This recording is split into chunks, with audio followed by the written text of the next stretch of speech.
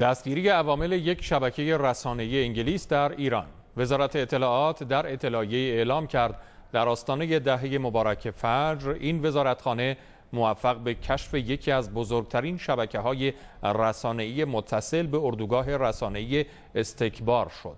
عوامل این شبکه که سازمان عملیات روانی دولت انگلیس بی بی سی آن را تأسیس کرده بود به دلیل گستردگی و پیچیده بودن پس از ماهها تحت نظر بودن و تعقیب سربازان گمنام امام زمان عجل الله تعالی فرجه شریف و همچنین فراهم کردن مستندات قضایی لازم دستگیر شدند.